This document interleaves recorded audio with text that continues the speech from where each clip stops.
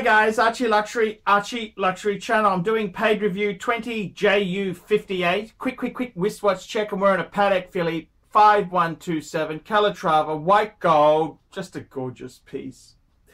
Okay, 20JU58. This is for Misha. Hi Arch, big time fan, proud Patreon supporter. I send you 50 US to your PayPal account. Uh, as I would like your assistance in helping me choose my next piece. But first, I would like you to review my collection thus far. Okay, number one, we got a Baume & Mercier Capeland chronograph.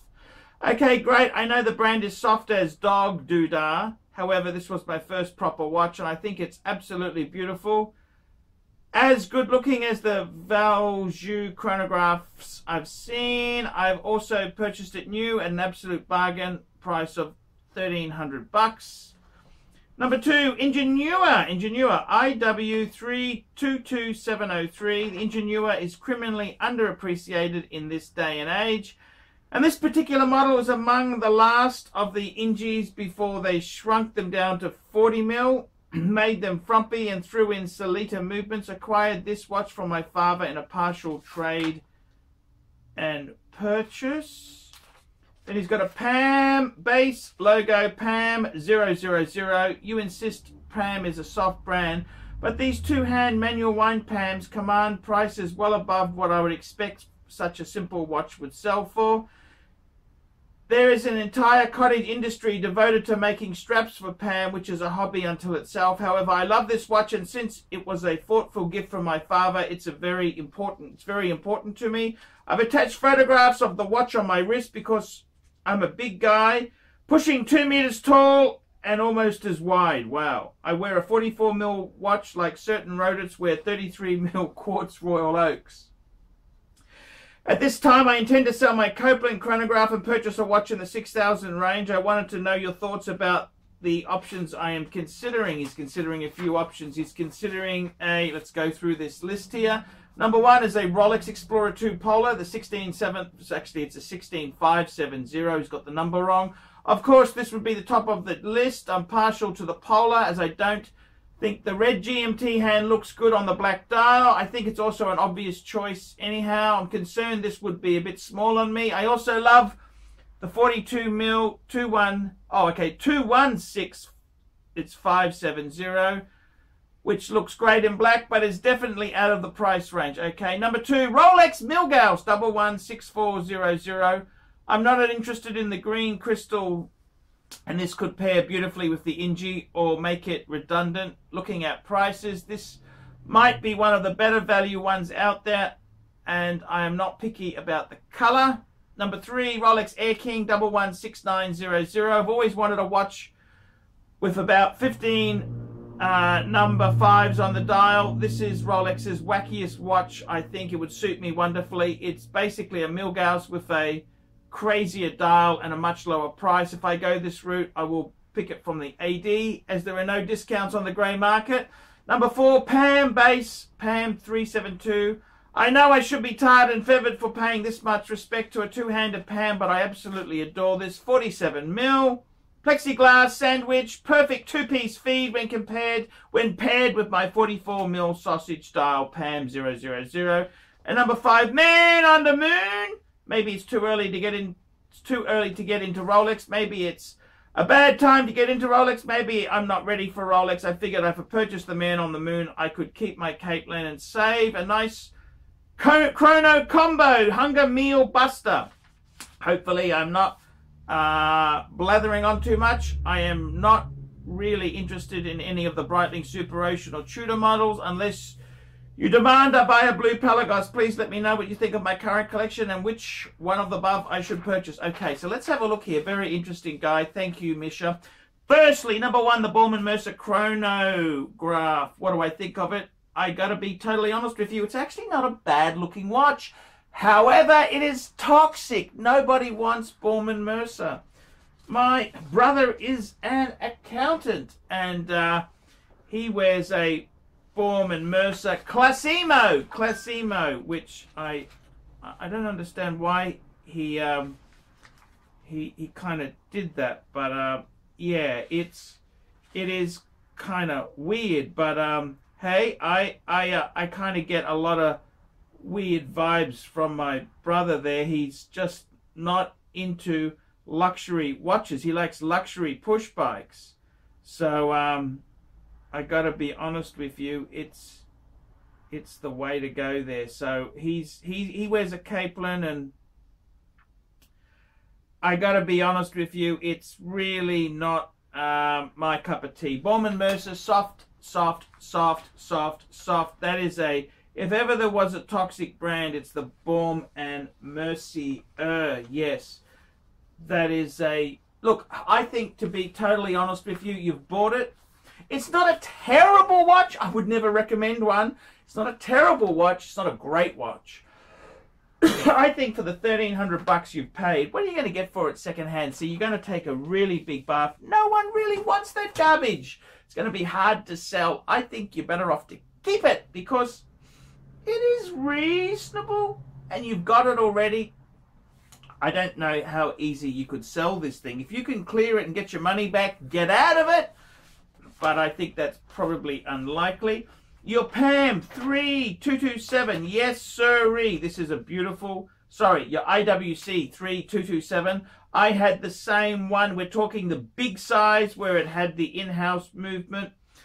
I agree, man. That is an absolute beautiful watch. The problem with IWC is the Ingenieur was sort of, that was IWC's science watch. It was their answer. It was kind of their version of the Rolex Milgauss. And what the unfortunate thing is, is that IWC has been really lost. See, they rebranded the Ingenieur nameplate as a sports chronograph watch. So they've they've confused the mix. They've really confused it. So those engineers, they are amazing, you know, bang per buck because people are confused as to what the hell it is supposed to. I'm just grabbing a water. I drink water. I drink a lot of water now. And um, I got to be honest with you, I understand that completely. People are confused. So, IWC, man, they got fantastic boutiques. I love them. You know, I really love the look of them.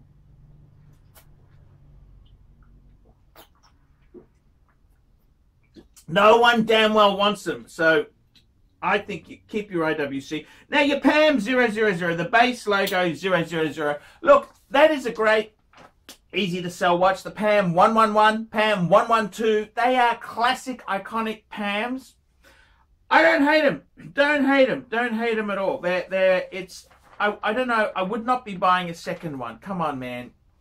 One is enough. Okay, please. Now, to answer your question there, at this time, I intend to sell the, the Capeland Chrono. How are you going to sell it? What are you going to get for it? A thousand US? See, I think you're better off to keep the damn thing. Keep the Baume and Mercier, Keep the IWC, Keep the PAM. That's that's what I do. I don't know if you could easily get out of that thing. That's the big problem I've got. Okay, what do you buy? I tell you what, okay, what would I buy if I were you? Every man needs a Rolex! You need a Rolex. Every man needs a Rolex unless you've got a Patek Philippe. You got a Patek Philippe, you don't need Rolex. But if you don't have a Patek Philippe, you need Rolex. So we go through this list here. So that automatically means the man on the moon, get the Rolex first.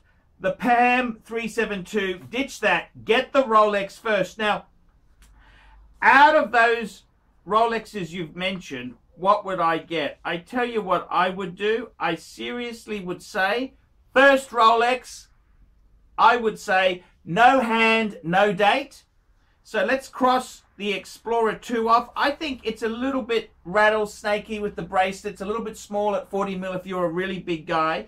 Personally, Milgauss, yes, Milgauss, or Air King or Explorer 1 39 mil. That's what I would say. 39 mil Explorer 1. I definitely, I've owned, actually, would you believe this? I actually traded a Milgauss, an Air King, and a 39 mil Explorer 1 for one Patek Philippe. I traded it for my 5296, so that just goes to show you. What would I pick? What would I pick? Look, I reckon any of those three is good. I would probably be looking at the grey market.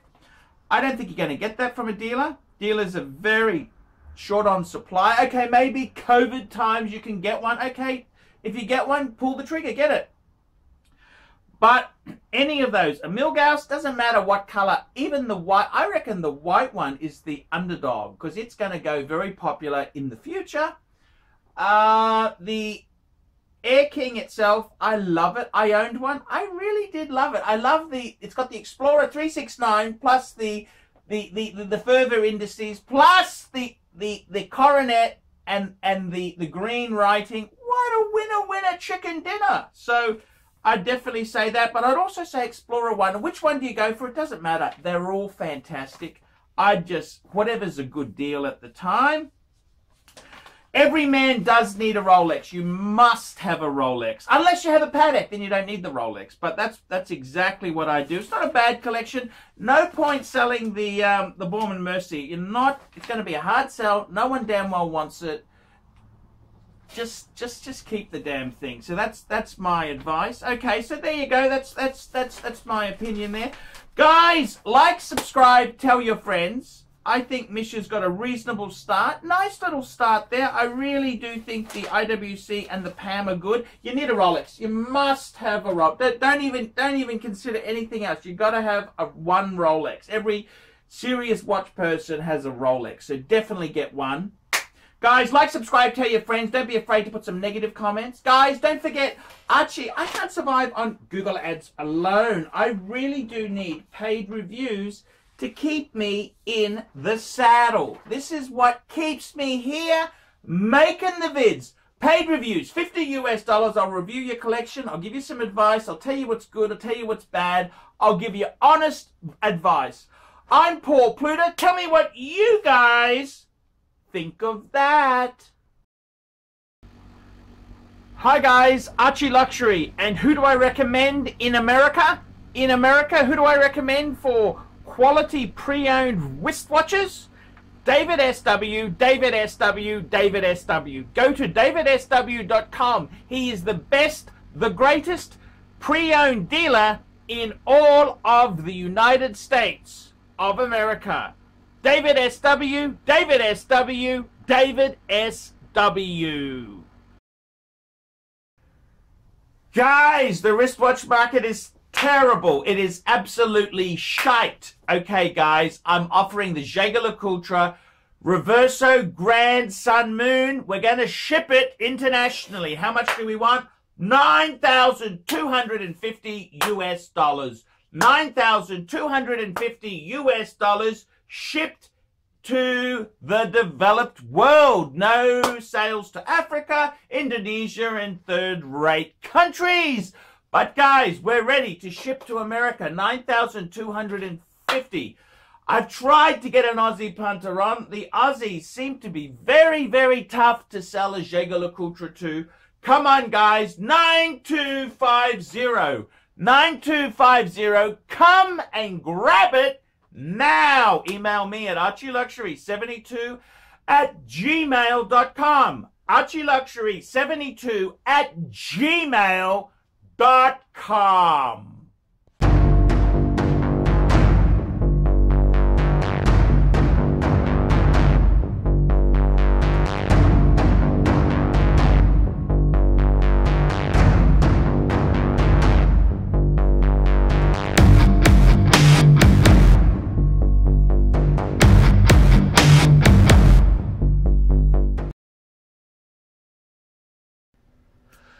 Hi guys, Archie Luxury, new sponsor on the channel, Abstantiate. Help get the most of your engineering and DevOps with Abstantiate. Abstantiate provides on-demand DevOps infrastructure, test automation, and continuous integration as a service with a focus on mentoring and hiring assistance to help engineering teams scale. They are experts in Google Cloud, Amazon Web Services, and the latest open source utilities to help your company save time and money. Cost reduction in your hosting bills alone will pay for itself. In addition, the team is 100% onshore, New York City based senior engineers. Abstantiate will help you get most productivity out of your current stack and or employee headcount. Email hello at abstantiate.com. Please email now hello at abstantiate.com for more information. Archie Luxury proudly supporting fantastic businesses. And don't forget, guys, make sure you subscribe to the Archie Luxury corporate live streaming channel to be updated on all the live shows I do. Live shows!